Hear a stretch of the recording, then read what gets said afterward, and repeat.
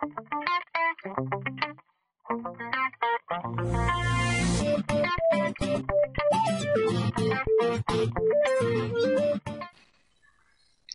hello.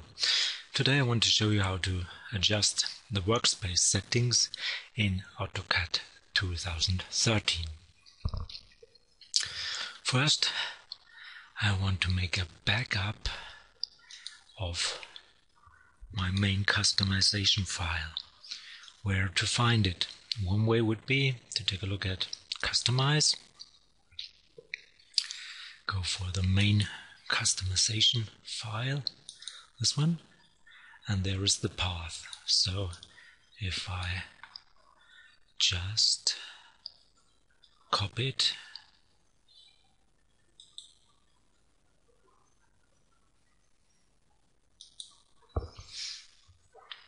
okay go to my file explorer. And it's on this hard disk. Insert it you may find here a ACAD CUIX file if the file endings are visible. So I will make a backup. You will notice there is already a backup but save is safe. So I go over here make copy and insert it. So I have a copy of ACAD CUIX because it's very good to do it like this there is no reset for this customization go back here. Then move over here go to workspace settings and change this option to automatically save workspace changes. And OK.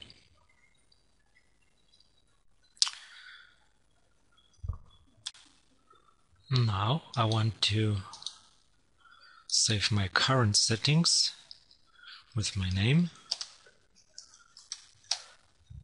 and save and you see it already changed to this new workspace which is called Wolfgang Walden. See? Okay. Uh, as this field is redundant with that one I want to exchange it yeah so I go here for customize we'll move to the quick access toolbars quick access toolbar 1 and there is a ribbon combo box workspace. I will remove it. Yes. And I will add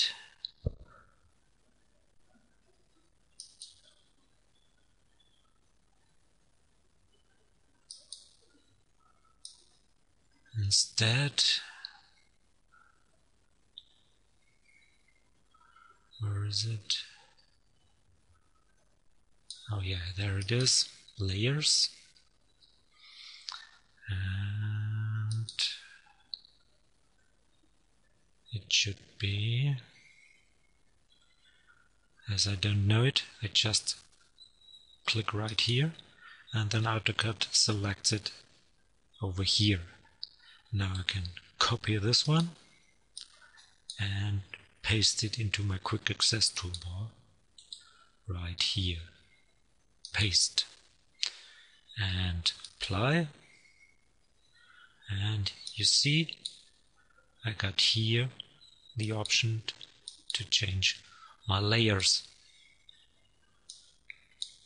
So now I want to save my workspace settings. I go to transfer select this one with the left mouse button hold the left mouse button and just move it over here to workspaces and then I save it as Wolfgang ACAD 2003 CUX, CUIX. Yes, and I'm done. Okay, then I want to put some palettes over here. Therefore, I take this one, layer properties,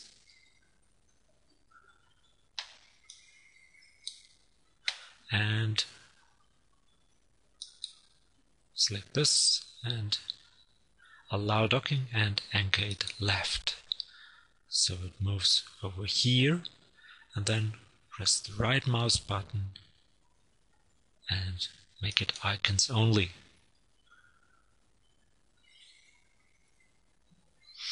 so usually you need very often this layer manager and the layer selection tool. Next I want to move the properties over there. Properties and anchor it left. So got this one right here and maybe we can put the design center in this bar as well.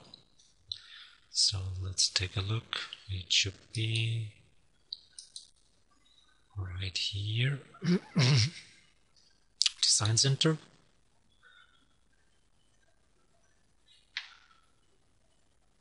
anchor it left and again I got these three icons over here that's very useful okay there are some settings which are saved in the profile. So I want to make a new profile.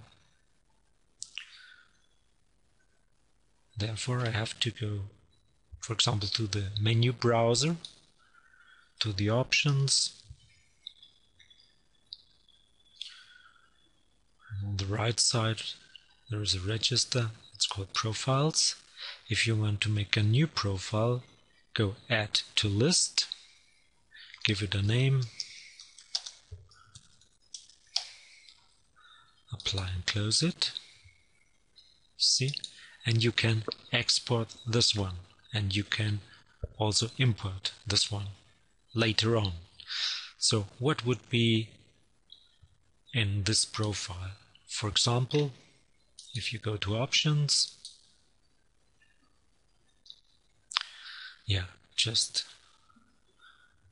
make it current one by double click or set current so now this is the current profile now I could change for example one setting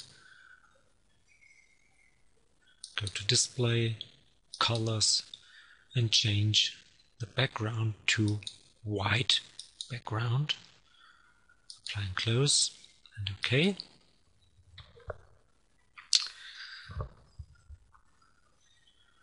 And if you want to change the profile, just make this one set current and it goes back to the black background. And okay. So you could of course export your profile settings and import it later on. And Thanks for your kind attention. See you next time. Bye.